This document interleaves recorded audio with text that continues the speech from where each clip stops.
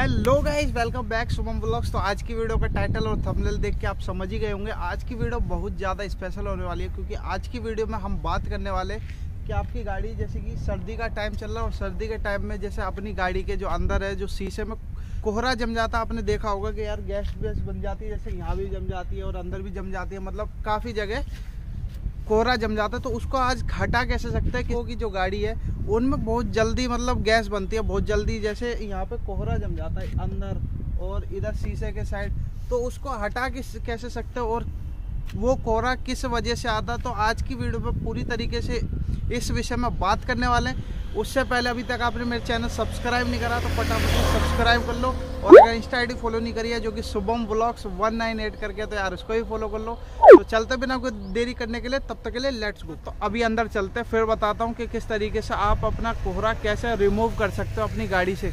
और खासतौर से इको वाली गाड़ी पे।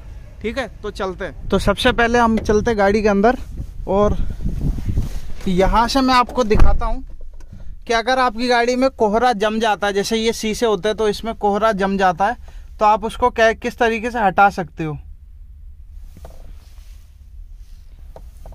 तो सबसे पहले आपको ये चीज़ देखो। ये जो ये जो आप जगह देख रहे हो तो इसमें एयर निकलती है मतलब हवा निकलती है। अगर आपकी गाड़ी, जैसे बारिश हो रही है, और बारिश होते में आपकी गाड़ी में, जैसे यहाँ पे कोहरा जम जाता है, आपने कई बार देखा भी होगा और यहाँ पर भी जैसे कोहरा जम जाता है चारों पाँचों शीशों में, और वजह क्या होती है इनकी? इनकी वजह ये रहती है कि इसका जो इंजन है वो इसके नीचे है, इसके सीट के नीचे है। लोकल एरिया में अगर ट्रैवल कर रहे हो तो लोकल लोकल जगह पे होता क्या है कि थोड़ी थोड़ी दूरी पे जैसे लाल बत्ती आ गई, थोड़ी दूरी पे गए ब्रेकर आ गया थोड़ी दूरी पे मतलब गाड़ी रोकनी पड़ती है।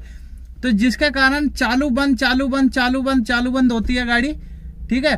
तो उसके कारण क्या होता है, जो गाड़ी की जो गर्म, जो इंजन होता है ना, वो ज़्यादा गर्म होने लग जाता है। अगर यही चीज़, अगर लंबे रूट तक एक बार सेल्फ मार के अगर लंबे रूट पे चले जाओ तो तो आपकी गाड़ी जल्दी हीट नहीं होगी। और अगर ज़्यादा अगर कम से कम अगर जाओगे, जैसे लाल बत्ती आ गई, कुछ आ गया, कुछ आ गया तो रोकनी पड़ जाती है, कोई भी सो चक्कर पड़ जाता है।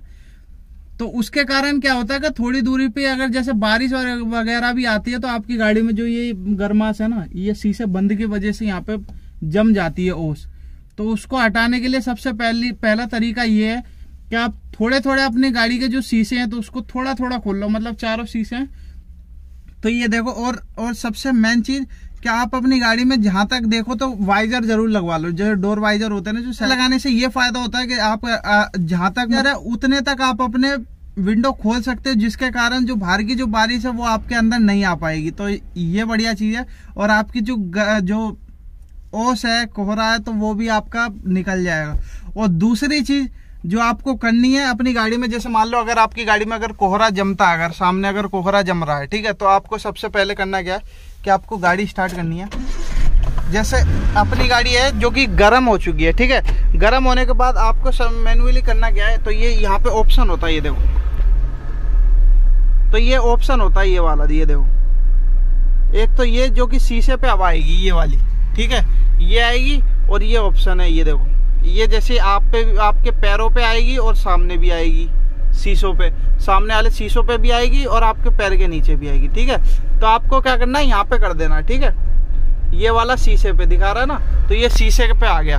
और अब दूसरे में आपको करना क्या है, जो ठंडी एयर है ना तो यार उसको ज़रूर चला देना है। जो ठंडी एयर है ना, ये देखो, जैसे ये हीटिंग का है और ये नॉर्मल है और ये ठंडे पे कर देना और ठंडे पे करने के बाद आपको एक पॉइंट ये करके, जैसे ये तीन पॉइंट होता है तो ये एक पॉइंट करके ये ठंडा कर देना ये देखो।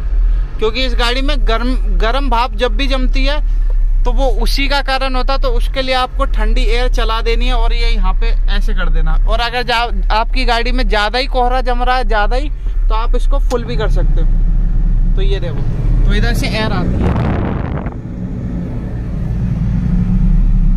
तो इसमें एयर आती है। तो आज की वीडियो में यही था।